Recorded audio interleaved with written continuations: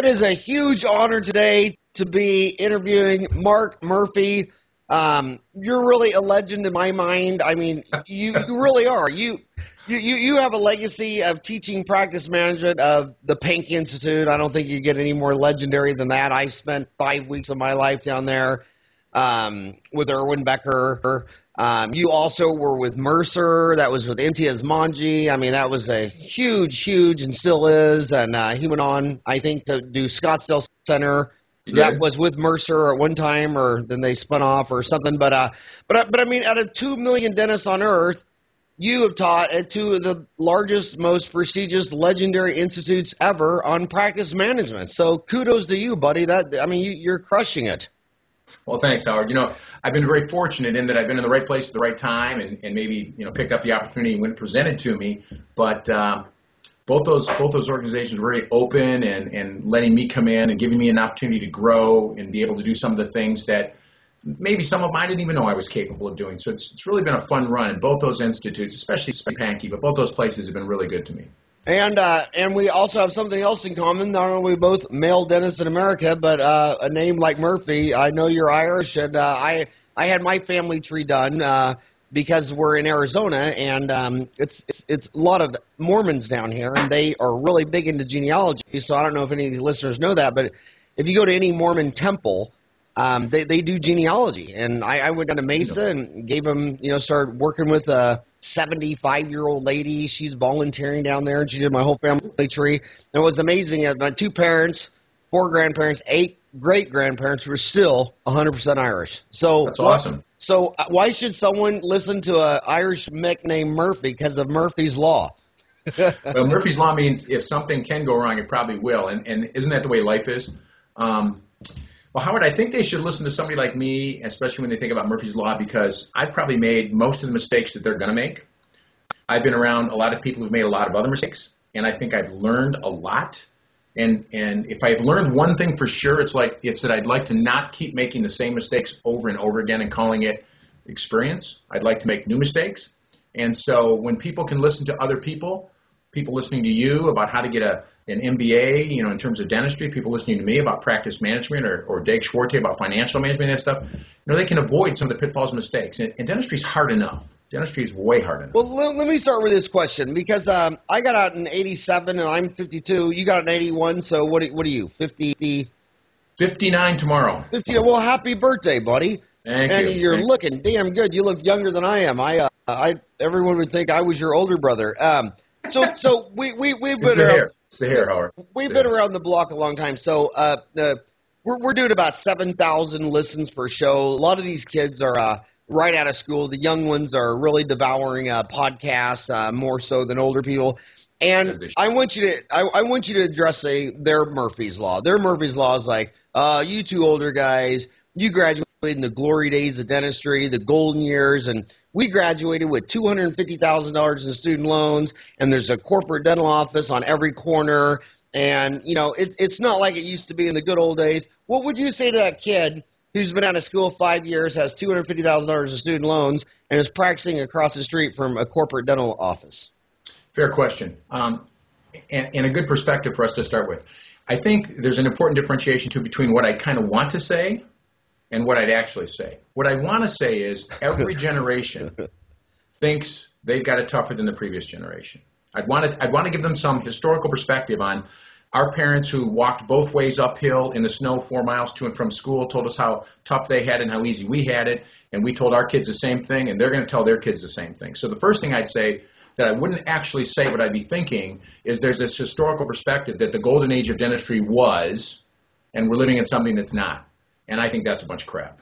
I think it's probably the best time you could ever be a dentist today. Better opportunities than we had when we got out of school. But that's perspective, and I probably wouldn't I wouldn't embrace that in the first part of the conversation with them, even though they're going to listen to this in the podcast. Instead, I'd say I feel your your pain, because not only are they graduating with two hundred and seventy three thousand dollars in nineteen in twenty thirteen, two hundred seventy three thousand dollars in debt. Not only is there a corporate dental office opening on every corner, but the demand, the, the, the patient demand, the U.S. Census patient demand consumer price is declining, flat at best.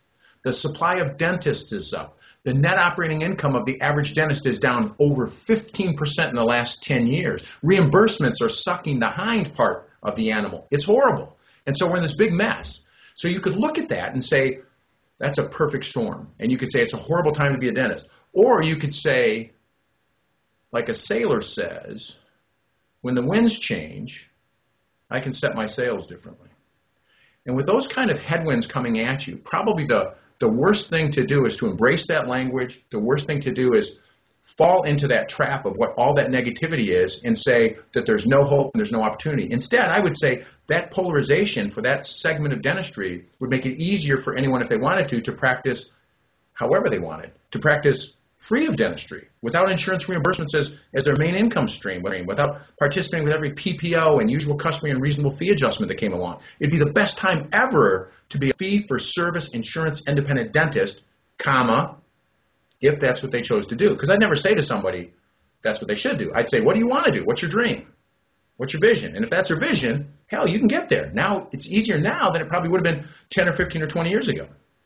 You know, you you we we do have a great perspective being our age because uh, you know when um, you know you hear all these people talking about how bad the economy is, and it's like you know how would you like to practice during the Civil War when 800,000 Americans were killed and everything was made of wood and they fought with fire and burned down entire cities? then to have World War One at the same time as the flu epidemic, the flu epidemic alone dropped five percent of the planet. That was happening during World War One and then and then World War II. I mean, I mean, the you know, you really do need perspective. I, I get a lot of perspective from uh, reading hundred-year-old dental books and from lecturing in um, 50 countries around the world. And it's funny how a country, when you're inside a country, um, you think um, every, everybody's drinking the same Kool-Aid, and then you go to another country. So I want to ask this: like, when you go to uh, Brazil or Latin America, you go to Africa, you go to Asia, there's no dental insurance. That's right. Why New Zealand? Take a take a country where it's not a third world country, but it's a first world country like ours. New Zealand, no dental insurance. Yeah. So so so why do um, why do almost all American dentists believe you have to take insurance? And because are you saying that you don't have to? Is that what you're Absolutely. saying? Okay. Absolutely. So so why does everyone in the United States believe that a human would never go to the dentist to fix their teeth without dental insurance? When, yeah. when there's now, no insurance in China, India, or Brazil. So, so, eh, but the dentistry is a little different there too. But so the first part, when you said, would I say that you don't have to take insurance? I'd say yes, but that's not a that's not a change you'd make willy nilly. There'd be a process for doing that. It would take time. You'd evolve from from insurance dependency to insurance independency. It might take two, three, four, five years, but you can do it. And, and you can't do it everywhere, but you could do it almost everywhere. So when I say that, most of us fell into this trap about taking insurance because Howard, when I graduated from dental school in 1981, crown fees were three, 350 bucks. Insurance covered 12 or 1500 dollars. So you could walk into a patient, look at them, and say, you need this, this, this, and this. They could say, all those crowns, yeah. Does my insurance cover? And you say, hell yes. And then half the dentists in Michigan would waive the copay as well, which was 10% because GM, Ford, and Chrysler all had very robust dental plans. So people were overbilling, taking 90% of the fee, and they were discounting their services. But remember, at 300 bucks a crown, you could do four or five or six crowns in a patient. Pretty successful dental treatment back then, back in 1981, 2, 3, 4, 5. Well, then as you know, fees might have gone up, costs might have gone up, demand might have gone up, but insurance coverage didn't change.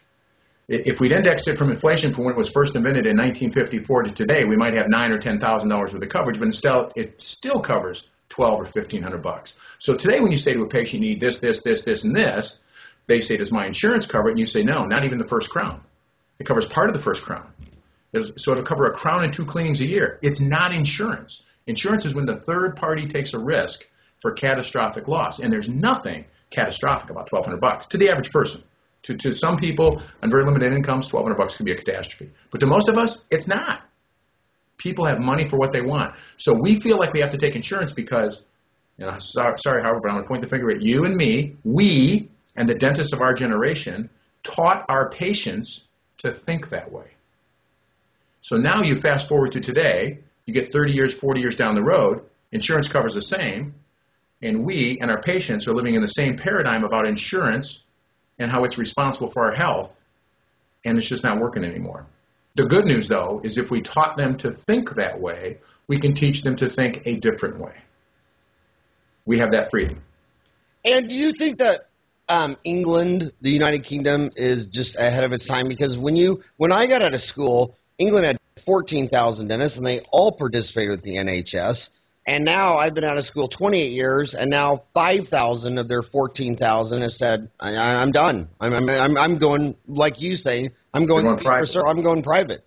Because, because well, I, I think what dental insurance has done, uh, let, me, let me ask this question. My, my, my thought is um, if you make a bottle of water, and, and you make this bottle of water and you sell it for $1 and you net a dime, let's say the dime is like the, the, the cap well, if you want to make another dime because you need money for family life, whatever, the hardest thing to do is make a whole nother bottled water, sell it, and collect the money to make your another dime. The easiest way to make another dime is to raise that first bottled water from a dollar to a dollar ten. Now you've made twenty cents, and that that's the easiest way. But don't you think that these PPOs and what they've done is that they've taken that dime away? I mean, they, yeah. They, in they fact, keep, Howard, let me use your, let me use your bottle to where you you're basically doing free dentistry.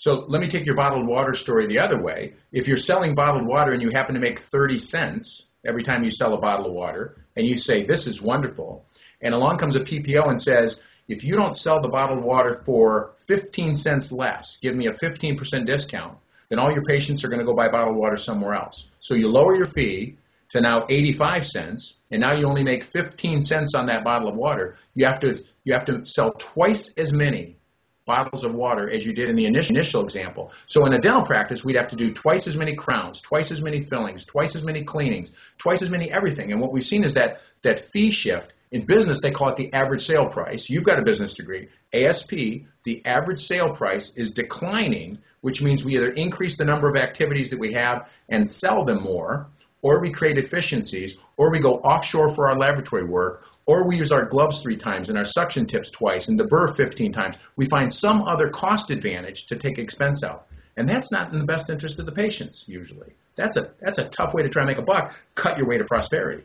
And uh, you know the the industry that reminds me the most of dentistry in America is actually uh, cattle, um, the cattle industry. You know, not one Fortune 500 company owns 1% of the cattle market because so many cattle people uh, sell their cattle at a loss because they're a dentist, an accountant, they have another business, and, and they don't understand their costs enough, and they're selling cattle, they're selling meat at a loss.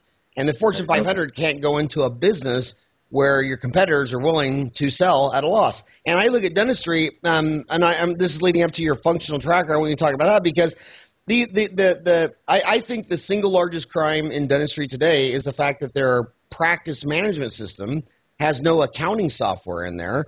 And if, if their staff was clocking in off the um, off the management information system, and you were paying all your bills on the practice management information system, and and the computer knew that you took half an hour to do this procedure at a hundred bucks, and uh, your cost was a hundred bucks, and then you sign up for a PPO, and, and they were going to pay you $90 for that procedure, then everybody had the data saying, hey, Mark, you signed up with this, you'll lose $10 every time you do this procedure. Then all the dentists say no, but none of the dentists know their costs. So the problem with PPOs is so many dentists are participating, running them at a loss, and not even knowing they're taking profits from fee for service cash patients, subsidizing all this garbage they're doing at a loss.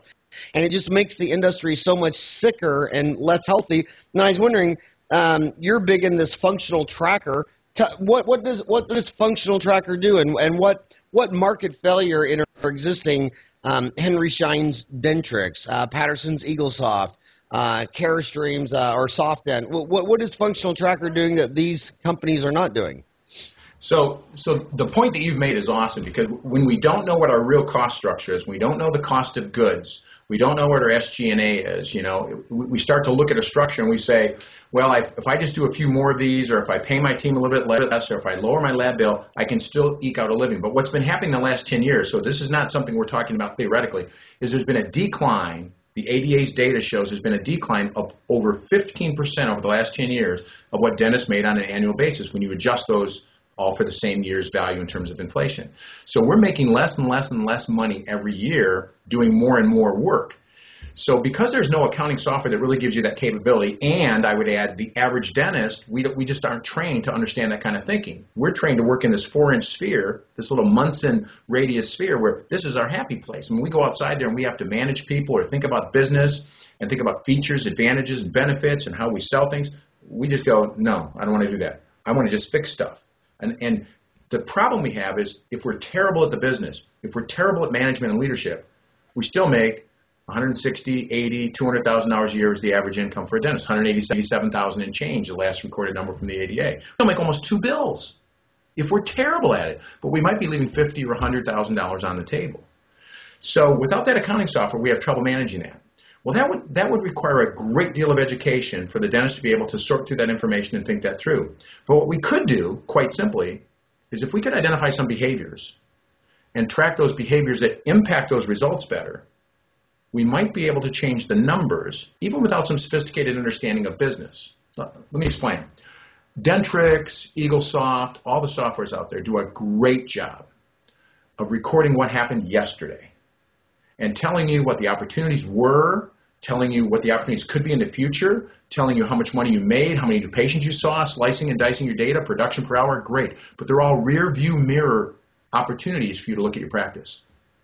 If we know that certain behaviors impact those results, we should track those behaviors. And that's what Funktional Tracker does. That's what we should all be doing. It's not about my software. It's about just even a paper and a pencil tracking the behaviors that we agree to. So if the team says we should use the intraoral camera more, why? Because if you use the intraoral camera more, more patients say yes to treatment recommendations and more of your hygiene patients show up for their next recare visit, then we should be tracking not just how many patients show up for the recare visit, and what our dollar revenue is. We should be tracking how many times per day we use the intraoral camera. That becomes the critical metric. So the, the solution to the problem is to say, identify the right behaviors using the intraoral camera, celebrating things with people, asking for a referral, making the next hygiene visit, making the restorative visit, making the first hygiene visit for a new patient when they come in. What are the behaviors that we could identify that impact the results that we want to change? because we've got plenty of software that slices and dices the results. We need something that drives drives the behaviors. I mean, I wear a Fitbit. I wear a Fitbit because it's going to help me measure, monitor, and manage how many calories I eat, how much exercise I do. Why? Because I want to lose those last 10 or 15 pounds. I want to get healthy, stay healthy, and look as young as you do, Howard. What I do is I hire my personal trainer to wear that Fitbit. and you look great on paper. And uh, so, so then, so tell me, um, of Dentrix, Eaglesoft, and SoftDent, which one's Moe, Larry, and Curly? Uh, you know, they all do a great job. I, I, couldn't beat up on any one of them. They all do a great job, but they only do a great job on telling you what happened yesterday or today in your practice. They don't tell you anything about what behaviors are necessary to drive those results. So, so, so how long has this been out? How, how do dentists get it? What are you tracking? What's the results? Tell, tell us how, how it's working. Well, well, thank you, but you know, I will stay. I'd like to stay at a global level. I don't want this to turn into an infomercial about uh, Funktional Tracker, but funktionaltracker.com. But it's functional with a K because we like to be a little fun and funky. So functionaltracker with a K.com um, is a website where people can go and look at this stuff. But, but I want to say this again: it's not about my software. It's about if you took your day sheet and you walked into your operatory and you said Patient number one for my hygienist came in. Did they make a six month recall appointment? Yes. Put a check mark. Patient number two came in. Did they make a six month recare appointment? Yes, they did. Patient number three, no. You could track what percentage of the time your hygiene patients were leaving with their next appointment. The average practice is around 70%. Best in class is around 94, 95%. So the difference between 70 and 95%, that 20 points on just a one hygiene uh, one hygienist practice who's maybe working 30 hours a week and seeing 10 patients a day, so maybe they're seeing 40 patients a week, a 20% delta in that number from 70 to 90% is eight more patients or one full day of hygiene. With one more full day of hygiene in your schedule six months down the road because you're starting to track that behavior, and whether you do it manually, if, if that's a pain in the butt, you, you know, you can buy the software on a monthly subscription basis. But the idea is to track that behavior. And if you track that behavior and impact that result, guess what? That practice is busier six months down the road. And for every dollar of hygiene that they get in revenue, they get another two or three dollars in restorative out of that hygiene revenue. And it's really not about just measuring the revenue, it's about saying how many patients have healthier mouths? How much more of the dentistry that I like to do do I get to do? And then, oh, by the way, that'll also drive revenue. So Funktional Tracker has had great success, but so too could you with a pencil and a paper if you had the time, the effort, the energy, and wanted to track that stuff. It's about tracking, not about just how you track. Well, would it be giving away the farm for you if you went over what you're tracking or what the, the 80 20 rule, what the most functional behavioral things to track are? No, I, I mean, I, I, would I would list them as probably in, in the hygiene arena, the simple, most important thing to track is next hygiene opportunity. So when a, when a patient's in, did your hygienist make their next recare appointment? If they did, count that for you. If they didn't, count that against. That should be 90 plus percent. But if the average practice is 70, there's a 20% opportunity to improve in the average practice, and we've seen them as low as 50, 55. I would also have the hygienist using an intraoral camera more. Lots of practices have an intraoral camera. I, I, was once doing a lecture for Mercer, and I asked how many of you have an intraoral camera in your office, and just about all the hands in the room went up. And when I said, keep your hands up, keep your hands up. Now, if you use it at least once a day, keep your hands up. If not, put it down. And I didn't count, but I'll bet 75 to 80% of the hands disappeared. So if you use an intraoral camera more and you show a patient crummy gums, they're more likely to come back for their next six month appointment. And that means less time, effort, and energy trying to fill your schedule, less time, effort, and energy calling patients, reminding patients, and everything else. In the clinical area, I would say that the greatest opportunity is to track your, your, your case acceptance. Case acceptance is usually at or below 50% in the average practice. And if we start to track acceptance and then we change our behaviors and create a more curiosity inducing, a more co discovery type of new patient experience and exam, if we use the intraoral camera more, those two behaviors, we'll find more of those patients will say yes. And a 10% change in case acceptance can be $100,000, $150,000 a year. So that's a big delta. On the administrative side in the practice, I would have my admin team celebrating things with patients when they came in, being very social. You know, if they knew that, hey, Howard had been lecturing in, in London, uh, England, and when you came back in for your next cleaning visit, I'd say, so Howard, I understand you were in London. How was it? Oh, and I'd listen to you tell me about your trip, and you'd feel good about telling me. I'd feel good about hearing. But I'd celebrate something with you that I knew about you personally. And we know that that helps improve patient acceptance, patient retention, and case acceptance all across the board in a practice. So I'd work on next hygiene visit, I'd use the intraoral camera more, and I'd celebrate things with people. If I didn't have enough new patients, I'd ask for more new patients, and I'd track how often I did that. I want to I want to go back to intraoral camera. I, I always think it's ironic how um, a dental office, you know, their number one largest expense by far is labor. You know, 25, 28 percent. Next would be lab. Twenty eight percent. It's probably it's probably north of thirty, but yeah. So thirty percent labor. Then and then if the average dentist overhead is five percent, that means the dentist that's a human. That's labor. That's thirty five percent. So so thirty percent for labor, or say twenty five, and thirty five for the dentist. That's fifty five cents of every dollar goes to the human beings, which is the same average for the S and P 500. Fifty five percent goes to people, whether it be uh, payroll or profits. Um, the next lab, you know, eight to ten percent, percent supplies six percent and they've always got money for payroll in the first and 15th, but they've never got any money to make their labor go smarter or faster.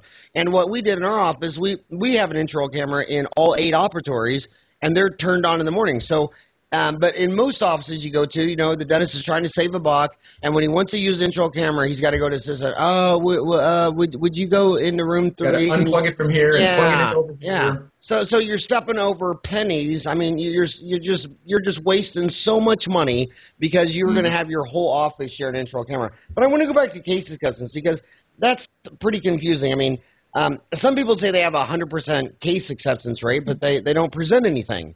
Other people might um, present Invisalign 10 times a week and at 5000 each. I mean, you know, if, if they got half of those, they'd be leaving $50,000 on the table, so that dings their case acceptance. Some people like Bill Blatchford, uh, who's, um, um, I think he's, is he 70? So, 70 years old. He, he's, he's older than we are. Yeah, he, he's, and you know what he does? He does a he does a push up for every year he's alive, every year on his birthday, and puts it on YouTube. And I can't do 52, but on well, I'll, do I'll do 60 of them tomorrow without any problem. Can you really do 60? Oh yeah. Oh, oh yeah. my god. I think uh, but but he's he says that um to for every dollar you want to produce you got to present 3. He's saying so a lot of his deal is you know, if you want to do a million dollars, you got to present three million. Uh, so what, what do you? So what do you? What do you? Uh, talk a little bit more about case acceptance. Then I want you to talk about the other thing about case acceptance. Why do 95% of the country's 10,000 orthodontists have a treatment plan presenter present the ortho treatment. 95% do. and in dentistry, 95% do not. So I want you to come back to case acceptance because you're a Pankey dude. You're a Mercer dude. You guys know how to present big treatment plans. I bet you of our 7,000 listeners, it wouldn't surprise me if 5,000 of them have never done a single $10,000 case. So Maybe. can you can you talk about that for a little while? Yeah, let me let me do them in reverse order. So so first, let me say why does an orthodontist have, um, let's say, a non-dentist, and let me say an excellent communicator, somebody who's comfortable with numbers and math, comfortable with finding an acceptable way of, of paying for it, having treatment options. How, why do they have somebody present that instead of the dentist? And the simple answer to that one is because we generally, there's exceptions, we generally suck at doing that. And so if we're terrible at it and we don't train somebody or pay somebody or incentivize somebody to do that, and we do the presenting of that, we're going to have a very, or whatever we have as an acceptance rate, but I'm going to assume it's going to be lower than it could have been because we're not good communicators. We have trouble looking somebody in the eye and saying it's ten or fifteen or twenty thousand dollars. Now, is this true of everybody? Of course not. But we're talking about the bell curve. We've got the middle of the bell curve. They have a tough time presenting that. They can't even can't even look somebody in the, in the eye. They uh, the treatment's going to be, and they're afraid to say those numbers. They're also afraid that the patient's going to ask that question back that cripples everybody as a dentist. Will my insurance cover that? And they don't have an answer. And we need to have answers for that. So the reason the orthodontists do because they know orthodontists know we're always going to they're always going to be presenting a five, six, eight, ten thousand dollar treatment plan, and they know that their lifeblood is going to be the success of those presentations being accepted. So they are willing to invest in the people and the training to have somebody who is a more competent, let me say, treatment coordinator, salesman, whatever we want to call it, a closer, to be able to present that in a way that more of the patients, more of the patients and their parents will say yes. We're not willing to make that investment. Now, why can one person have a treatment acceptance rate that they think is 100% and somebody else, like Bill Blatchford, would suggest that if we want to have a million dollars in treatment acceptance, we have to present three million so that we get a two to one ratio, that we get 33% case acceptance. That's a pretty wide range. Well, if I never present more than twelve or fifteen hundred dollars, I could grunt my way through that case presentation. I could say, uh, grunt. And you say, oh, does my insurance cover? You go, uh-huh. And you go, let's go, right? I don't have to have any kind of interpersonal communication skills. So if I'm a dentist, I don't use my neocortex. I use my, I want you to like me mammalian brain. I use my, I don't want to feel the pain of rejection reptilian brain and I want to pay my bills, reptilian brain, I use my inner brains and I say, what's the least painful, what's the least emotionally costly path of resistance? And it's to ask you to do something that someone else will pay for. So that's where I go. So then I have 100%. Why? Because I never present more than what insurance will cover. Once I start going past, and I don't know what the number is, it's going to be different for everybody three, four, five, eight, ten thousand dollars, but probably three or four thousand dollars. Now it really requires me creating a value proposition in your mind for what we're going to do. It, it, it, requires me to help you understand what the role of insurance is and isn't. It requires me to help you make different choices about what you want, even though I know this is something that you need because you want other things. And we spend more money in this country today on alcohol, tobacco, and gambling than we do on dental care. We almost spend as much celebrating Halloween and Thanksgiving as we do on dental care. We spend 91 billion, and dentistry is a 110 billion dollar industry. So people have money for what they want. So my my goal isn't to tell you what you need; is to get you to want it. So I, if I'm not a good communicator, Bill Blatchford's right. I'm probably going to have to present three dollars to get one dollar back. So I either I either default to the painless environment and say I'm never going to present more than insurance covers, or I go over to this spectrum and I say at this end I'm going to present a whole bunch and I'm going to take my piece of it, but I'll have to be a three to one, two to one kind of ratio. Or or maybe you spend more time honing your communication skills, honing your conversation and your scripts around insurance. You create more curiosity and co-discovery in the new patient exam. How are the kind of things we learned down at Pankey? And if you do that and you invest at the front end of that, more, not every, more of those patients will come to understand the role of insurance. They'll come to understand what their needs are. Maybe they'll come to understand and want what we know they have to have done by them owning their problem, really good patient education. And if we do that, more of them will say yes. Not all of them, but more of them. So, but that's a harder track for a dentist to take. Why don't I just present more? Or why don't I present less where they'll always say yes? Those are paths of least resistance. So, are you for treatment plan coordinator or against, or does it depend on the dentist? I mean, I mean, the the bottom line is we all got in dental school for only one reason. We got A's in calculus, geometry, physics, chemistry, biochemistry. Uh, we we didn't get we didn't get accepted to Dentaltown. I mean, to dental school the same reason you get accepted to uh, a broker at Merrill Lynch because you're tall, dark, and handsome and know how to talk to right. people. So, so yeah. can this can this physics major, calculus, Krebs cycle geek be taught to do this, or do you think it's a lot easier to do like the orthodontists do and say, hey, just find a treatment plan coordinator? Bell curve answer: hire somebody to do it. Um, but some people um, may want to learn those skills and become better at that. And, and honestly, if they do, they'll probably be better at just about every other aspect of running their business. They'll be better at communicating with people. They'll be better leaders. They'll be better managers. They'll understand business better. So I would argue because of the size of our business, the, the, the revenue stake that we have, our cost of overhead, our cost of doing business, it's probably worth it, the average dentist taking a shot at trying to acquire those skills. Now, if they keep running into a brick wall all the time, then I think they've got to let go and think about hiring somebody else. But see, the average the average orthodontic practice has a higher revenue run rate and lower overhead, and they've got a little bit more free capital to hire another, another employee to do something like that and compensate them fairly. We're a little tighter on that. I mean, if, if you're using your 65%, for example, which I think would be great today, but 65, 70% overhead, you know, you're adding a layer of a person to do your job as a dentist that you're unable to do and, and you got to pay them fairly, you're probably looking in a $700,000 practice or an $800,000 practice, you might be looking at another three, five, eight, or 10 points to hire that person. Well, if you're in an orthodontic practice doing a couple million dollars in revenue, it's a little easier story. So I'm, I'm in favor of both, depending on what you can and can't do as an individual. I um I I know two ladies my age, well not my age, but maybe 10 years, five years younger, who both um, went and got a job at a dental office uh, doing 500000 Both started presenting the treatment. They both went to a million five. They were both getting paid about uh, $15 an hour and asked for $20 an hour raise, and the dentist said no. Found uh, another office hire him, so gave two weeks' notice and went there. The office that was doing 500000 went to a million five. They left. It went back down to 500000 and where they're at so now uh, went from 500,000 to a million and a half. And one of them had to do it again and went to a third office, and that one went back down to 500. And I mean, can you imagine a lady comes into your office, bumps you up a million dollars, and you can't bump her from $15 an hour to 20? I mean, I mean, dentists are. I mean, that that these are two of the craziest examples I've ever seen on treatment yeah. plan.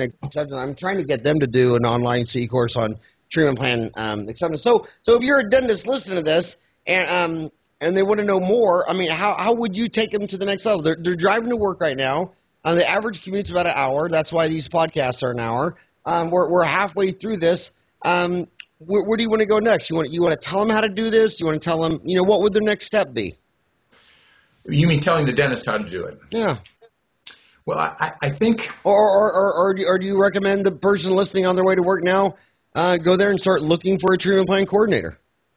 I, I, I, would again probably I would probably take a shot at, at develop my own skills first, and then if I was unable to do that, running into a brick wall, I would hire somebody to do it and have to bite that bullet. And, and, but, and you know, you know why I think what you said uh, why they should learn how to do it themselves is because becoming a successful salesperson, you're going to become successful all around your life because one, one of the biggest maxims I believe of successful people is how many uncomfortable conversations are you willing to talk about? I mean, these people will tell you things about their own kids, and I'll say, "Well, when you told your kid, what what did they say?" Oh, I you know I don't want to I don't want to. I, I'm afraid to tell my kid that, or and they're telling you what they want to say to the to the hygienist, and they're like, well, you know, I I don't want to confront her, and and these people are always telling me these conversations, and I'm always like, you shouldn't be having this conversation with me because you're venting. It'll make you feel better. You need to go back and have an uncomfortable conversation with your hygienist. Uh, they they won't talk about their their spouse spending too much money. They just they just humans are pack animals, so they don't like to have uncomfortable conversations. That's what sales is. Sales is being able to say, Mark, look, you know, you got insurance, but uh, dude, you know, to do this right, this is going to be a very comprehensive case, and this is going to cost you ten grand. Or so that, that's why they should develop themselves. It'll, it'll help in every Absolutely aspect of their life. And, and you know how Howard that the challenge the challenge inside the dentist is not go out and learn the skills. The challenge inside the average dentist is to accept the fact that we'd rather talk about molar endo than talk about interpersonal communicating. And so the, the first step in recognizing that we need to grow into an area is recognizing the deficiency we have in that area and the need that we have in that area. And that's a huge challenge because that requires a big paradigm shift. You know, the reason that molar endo and stuff like that are the number one threads on Dentaltown is because that's our four inch Monson radius sphere. That's our comfort zone. That's what we want to talk about. That's what we want to think about. That's what we were trained to do. That's what we're good at. We weren't selected, you said it, we weren't selected to go to dental school because we were good interpersonal communicators, good providers, good healers, good nurturers. We didn't have a list of characteristics that they looked for. They said, they said, let me test you for the characteristics of somebody who would get through this program in four years and pass the boards. And that's an introvert who's very uh, analytical and technical in terms of their work, not strong in interpersonal communications, doesn't have great leadership and management skills. Oh, are there exceptions? Of course. But we're talking about the bell curve all the time. So if there's somebody out there listening who wants to get pissed off because I said that about them as a dentist, it's a bell curve. We got both ends. But the average dentist is not not only not trained, they're not selected for, and then they're not prepared to accept in themselves that they need help in that arena, and then to pay for it. And yet they'll pay for a class on molar endo, a class on occlusion. I mean that. I mean look at the look at the continuing education. There's one, and now I'm going to plug Pankey for a second, where I teach. But I mean, Spear does a great job. Kois does a great job. Dawson, LVI, all those places they do a great job in technical education. It's harder to find a place, Pankey, where there's a stronger component on the behavioral, the philosophical side, the softer sides of dentistry. It's harder to find that. Why? Because that's not what they want. And if I was opening a commercial enterprise and I wanted to sell continuing education, I would sell as much technical education as people would buy because that's what they want. And I'd sell the hell out of it. And I wouldn't discount it, I'd bundle it, and I'd make a bunch of money.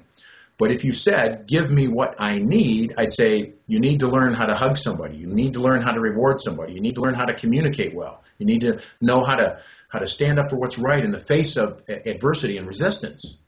And that's harder to do, and that's harder to teach. And if I'm a dentist, I don't want to learn how to do that stuff. I just, I just want to work here. I just want to fix this stuff. Oh, you so know, the first step is admitting. You'll go into dental offices, and everybody I know in consulting says the same thing. When you go into a million dollar office where the doctor's netting three, four, or five, I mean, you can sense it in one second. Like you, you go to other doctor's appointments, and like the doctor's running 30 minutes late, and there's just people just vividly upset. You go into our office, and we know the doctor's going to be late, and it's just a natural behavior for the office manager, the receptionist to get up there, stand up, walk around, go out there, hold your hand. Mark, I'm so sorry. Dr. Farran's running late. He and then explain the whole thing, and the patient's like, I mean, and then when you talk to dentists about stuff like that, they go, "Oh, that's all the soft stuff. That's all the bullshit." I, uh, you know, I, I want to know on on on a CEREC machine, do you have the setting on this, or do you have the set? I mean, it's just. In fact, in fact, what what what do you even address that? These kids are coming out of two hundred fifty thousand dollars in student loans, and they're all freaked out because now they got to double down and pay one hundred fifty thousand for a CAD CAM, hundred thousand dollars for a CBCT, and seventy five thousand dollars for a Biolase, and they're like they're going to double their dental school debt on three toys. So what Yeah. would you say to that dentist? Do, do they need to double their dental school debt to go to the next level on three toys? Well, I certainly don't think so. I certainly don't think so. Um, I think I think You certainly know so that they don't. I mean, how many how many dentists do you know have multi million dollar practices that don't have any three of those devices? plenty. Plenty. Yeah, and, they'll get those three devices, and they don't have the skill set to get to a million dollar practice uh, I- anyway. That's right. It's it's yeah. We look for the quick answer. We look for the easy solution. And when, when a very slick salesman, which we're not, walks in and tells us that this CEREC, this CBCT, that these things are the answer to our problems, they're going to make all our, our concerns go away.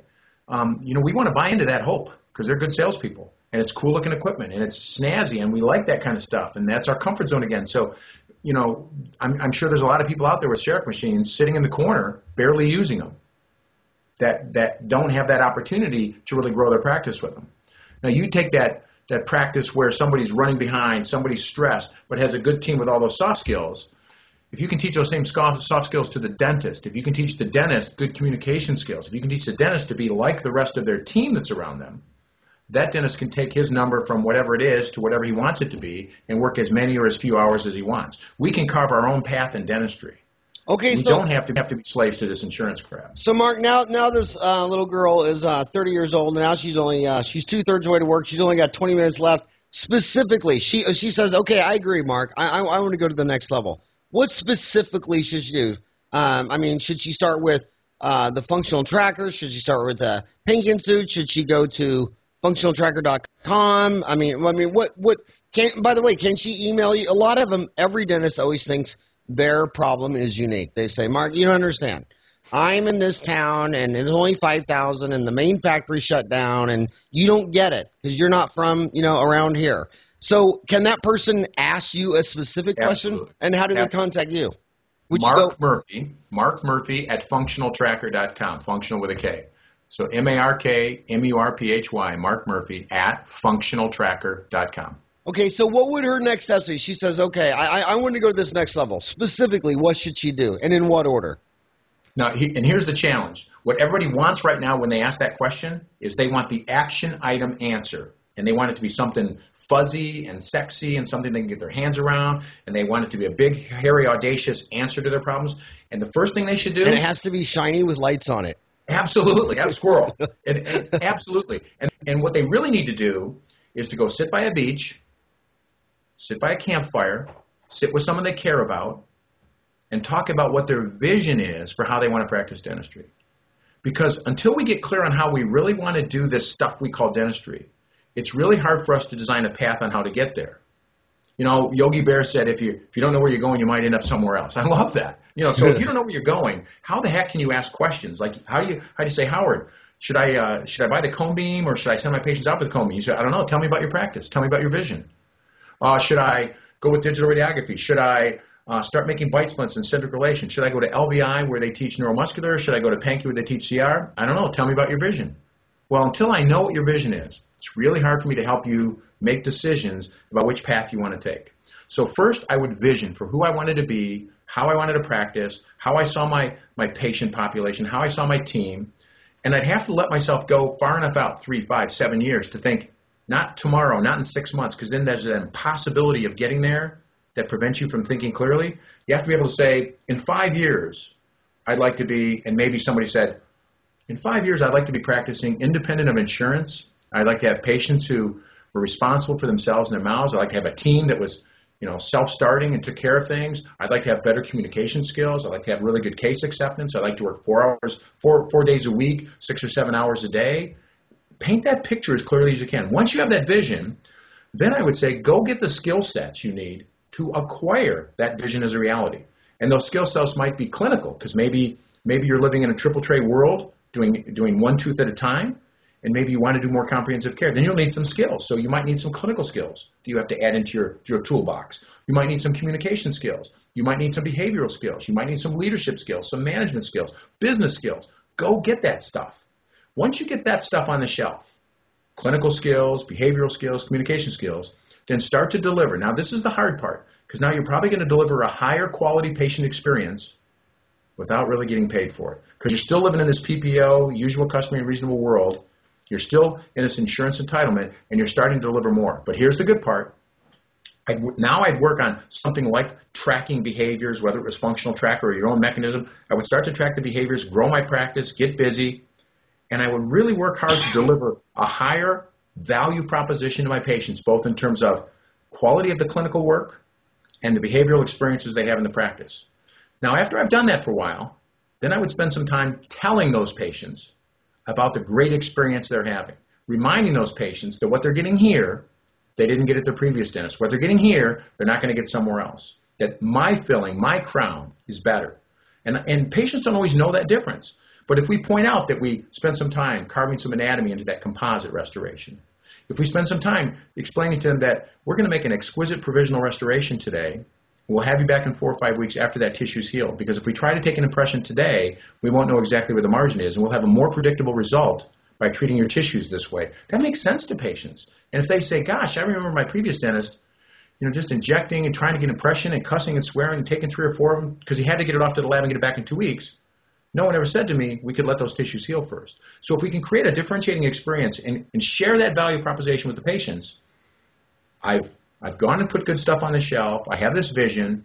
I do some better stuff. I deliver it to the patients. I tell them about it. Now I'm prepared to risk leaving my relationship with insurance. So if that's somebody's vision, then they can create a pathway that's three or four or five years long of delivering the kind of dentistry that they want in the kind of environment that they want, maybe not for full compensation initially, and then they're willing to risk the loss of a few of those patients, and it probably won't be as many as you'd like or as many as you'd worry about if you if you do it the right way. And and I would suggest you don't leave all at once. You leave the worst plans first, and you leave the less worst plans second and third and that maybe you write a letter to those patients, explain to them what's happening, and then you have them come in for six months and have a one-on-one conversation with each and every person that's going to be infected by that decision.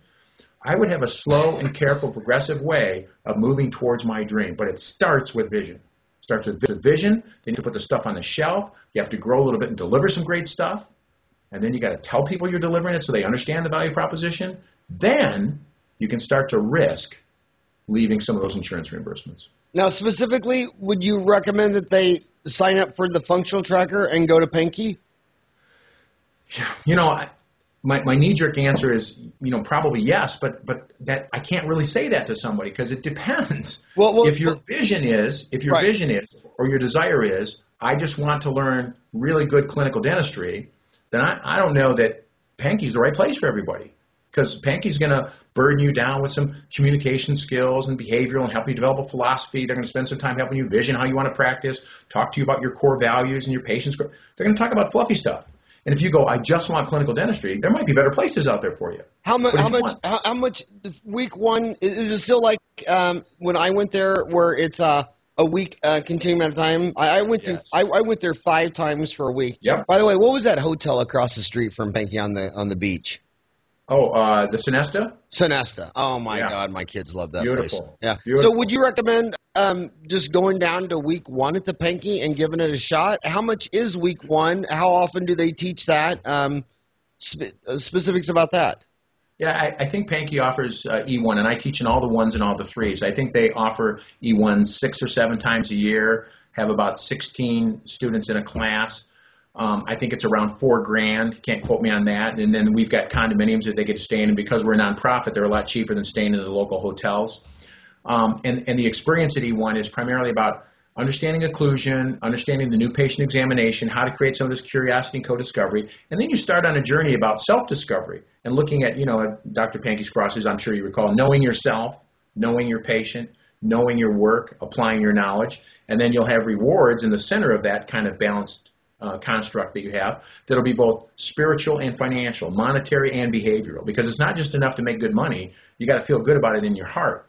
And it's not just enough to get warm fuzzies, you need to make a couple of bucks because you got to pay your bills. So that's what E1 is all about. And I think that is a great place for most people to start. Now, then you'll go through two and you'll learn more about occlusion and TMD and splint therapy. And three, you'll do aesthetics. And four, you'll do posterior reconstruction and implants. And so there's a there's a, a layering to the learning. But throughout that, there's a thread of behavioral practice management, financial management. So, so is Pankey right for everybody? No, but it's it's right for a lot of the young generation. That you know, Pan, you know, Pankey's doing better today than they were before. They've still got a lot of competition out there. Back when you and I were going there, there was Pankey, there was Dawson, there wasn't much else. Now there's 10 or 15 good places to get an education. I mean, good places. And I've been to a bunch of them.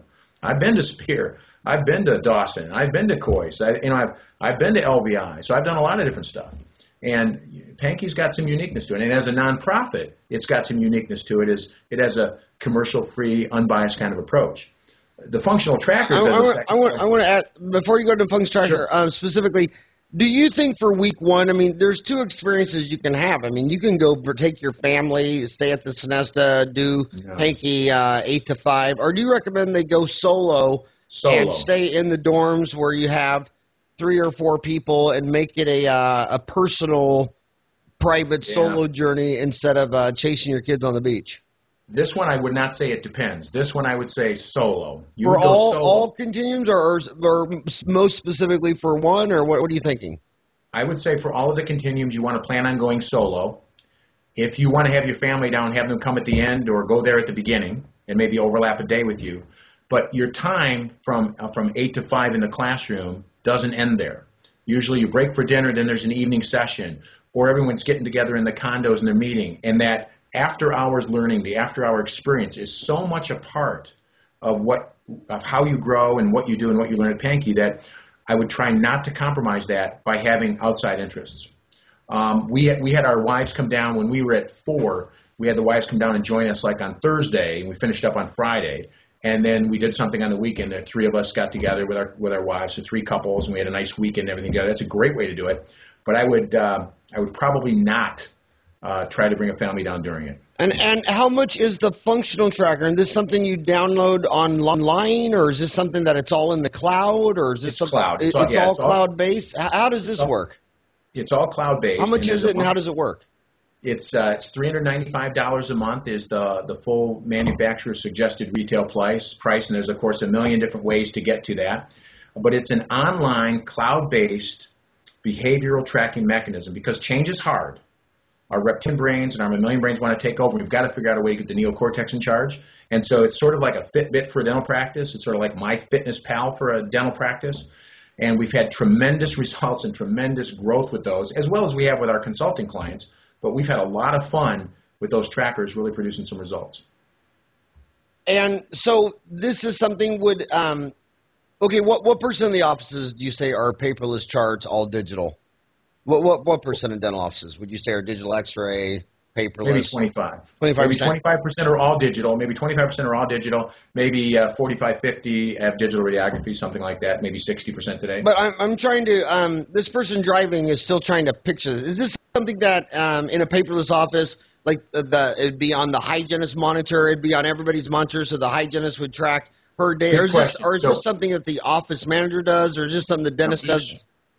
You'd, you'd want to have a terminal. In, you'd want to have a, um, a computer or a terminal in the back. You'd want to have a computer or a terminal at the admin site.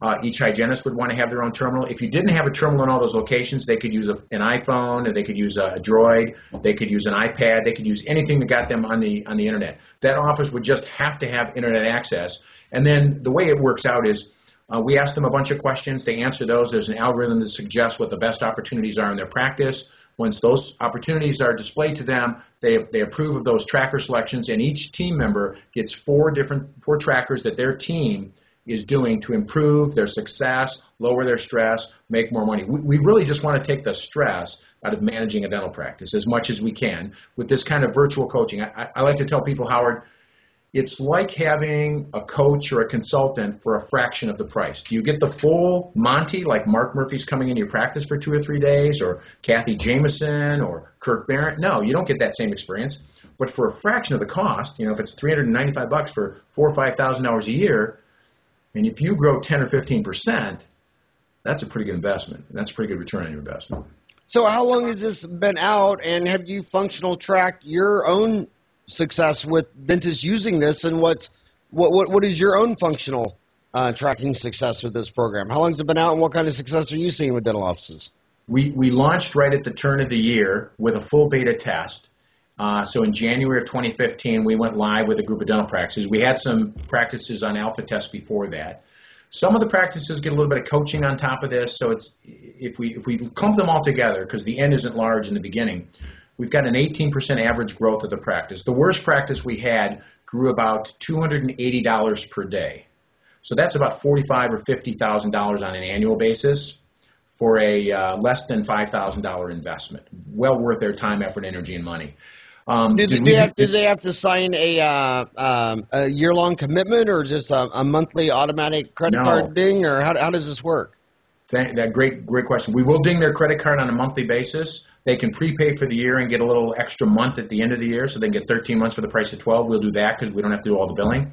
But no, uh, you don't like what you're getting, you don't like what you're working. Fire me as fast as you'd fire anybody else. Just like you're firing the guy that cuts your lawn or the person that cuts your hair. You just uh, you you you speak with your credit card, so to speak. What if I don't hire anyone to cut my hair?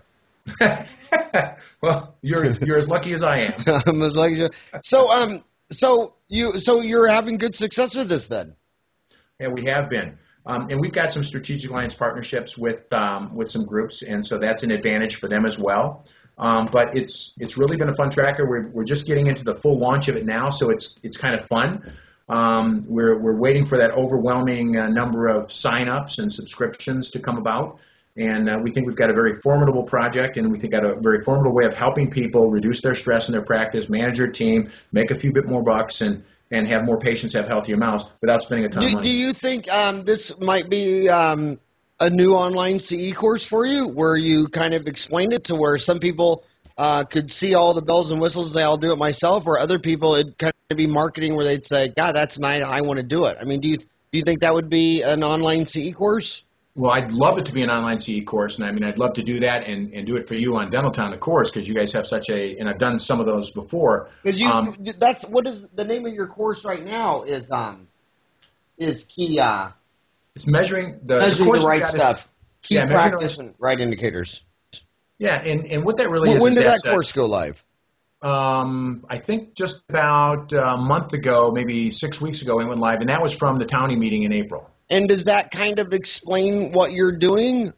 I would say yes, it does. It certainly explains, and, and it'll even say during that lecture, I'll say to people, it's not about how you track. Our software does a really nice job of that, and it's fairly inexpensive. But it's the, it's about that you track. It's more important that you track, and whether you do it with paper and pencil, whether you do it with a spreadsheet in Excel, or whether you do it with my software, it's about tracking behaviors. Yeah, I got a cool software. It's fun to use. You know, there's avatars and badges so people have fun with it like they do with some of the other online stuff. It's not quite as fun as Candy Crush, but it's pretty cool. But the idea being it's about tracking.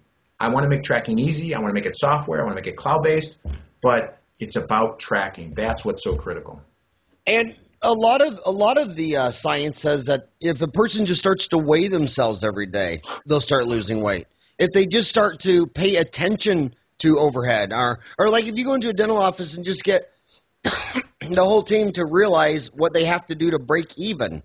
Yep. You'll you'll stop having days where you lose money just because the whole team realizes, but God, we have to do thirty eight hundred just to pay the pay all the bills. So that they, yep. it totally changes their behavior to work in an emergency or fill that cancellation or, or what have you. Let me let me tell you a story about that that fits perfectly because what gets measured gets done. There's no question about it. So this is true. If you take a practice and you say to them, so how many, what percentage of your patients do you think is leaving with the next appointment? They're going to tell you whatever the number is, and most people will grossly overestimate. So immediately I tell them, well, whatever you think it is, it's probably less. But let's do this. Let's do this. Go back to your practice, take out a sheet of paper, draw a line down the middle, and put a tick mark every time somebody come in for a hygiene appointment on the left side, and when they have a six month recare appointment, put a tick mark on the right. Do it till you get 100 appointments from last month here on the left. Add up the right hand side. Tell me what your percentage is, and it's going to be the average practice is around 70%. Whatever that number is, tell your team that you measured it. Just tell your team that you measured it. Tell your team you're going to measure it again in one month. Don't do anything else. You and I know the number will go up just as soon as everybody knows we're being measured on a certain behavior with no coaching, none of my videos, none of my articles, none of that stuff, with, with nothing, but just knowing you're going to have to get on that scale again, like you said, in the next month, you'll eat better. Or in this case, as a hygienist, I'll make more of my next hygiene appointments. So, so without any coaching, without any special trackers, that number will get better just because they know I'm going to measure it. That's how powerful measurement is. Now, uh, we, we never got to Mercer. Are you still with Mercer? No, you know, Mercer really doesn't exist anymore. Um, Mercer as an investment company still exists. Um, the, the, investment capital company that bought them divested themselves of the consulting side and Patterson picked it up primarily, I think, for the transitions, buying and selling of dental practices. But I think for the most part, they've allowed the rest of that company to become very, very quiet.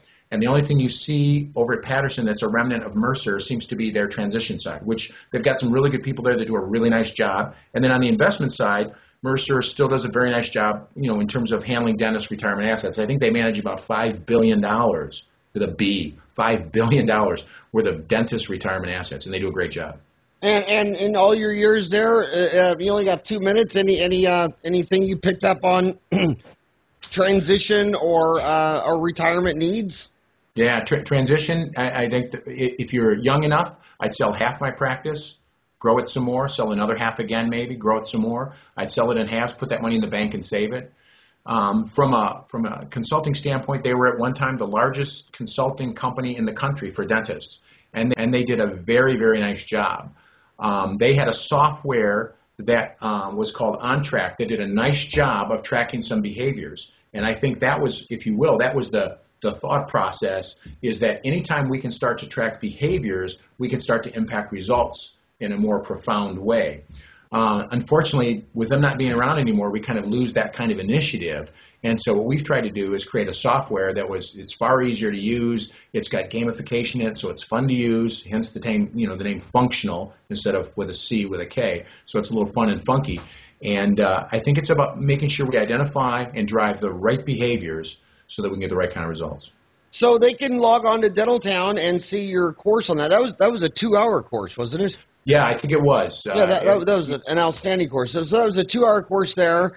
Um, we are out of time. It's been one hour. We're over the hour. Hey, Mark, seriously, dude, I, I just want to say that uh, you've been a role model and an, uh, an idol of mine uh, during my entire career. Uh, seriously, I, I mean, you re- you really have. And and like I say, you uh, I, I mean, you've been a Mercy and Pankey. Um, you're always an innovator. I hope everyone, if they log on to uh, www.functional with F, F-U-N-K, let's get funky, T-I-O-N-A-L tracker.com. Is there some type of demo or something or? Yeah, there's a there's a video on there that shows you how the software works, how it's gamified, how it changes behaviors, tracks the behaviors, and then and if they've got some interest in that, then they can go ahead and sign up. And uh, and if it's a if it's a if it's a townie, we'll do something nice for them. How's that? Is is that video on your website? Is that on a YouTube video? Is that a YouTube link? Uh, it is not a YouTube video. We, we store those on Vimeo in a private Vimeo account. Okay. we certainly could. I certainly would put it on YouTube if somebody wanted to watch it. Yeah. Well, I, I again, I just want to say uh,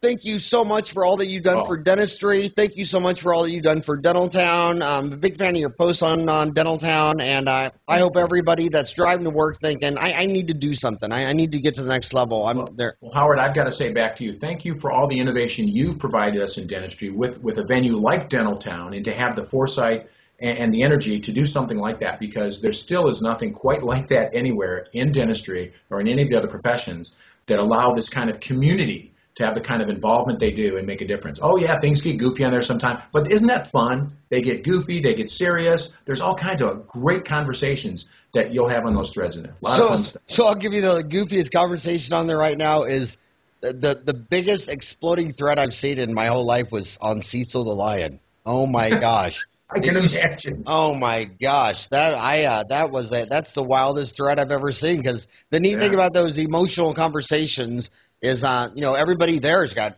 their dentist. They've all got eight years of college, and the, that's what I like the most about Dentaltown is that you think you know it all. I mean, I don't care what, if it's on uh, anything, Yeah. and the dentist they, they just they always show you something you've never thought about once. Last question, I can't resist.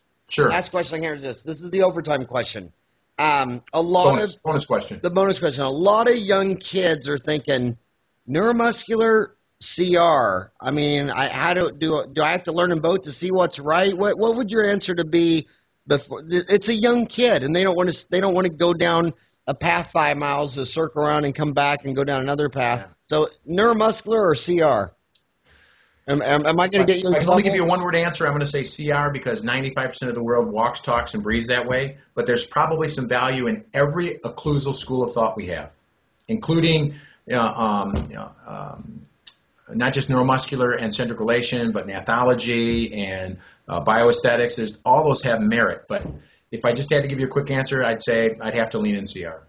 And I would have to say, um, uh, I know we both have our fellowship in the Academy of General Dentistry. I, I would have to say that um, if, if you wouldn't learn how to do all orthodontics from A to Z and never did a single ortho case, you'd be a much better dentist. It's all cross training. It's all cross training. And you, you come out of school and your toolbox has a hammer and a screwdriver. And every time you go to the course, you just keep getting more and more tools. And right now, at 28 years of practicing, it's so fun to walk into a room and look at a mouth and think, I could fix this eight different ways. You know what I mean? So it's all Absolutely good. right. But again, Mark, thank you so much for all that you do for dentistry. Hey, and from the Motor City, peace out. okay, bye bye.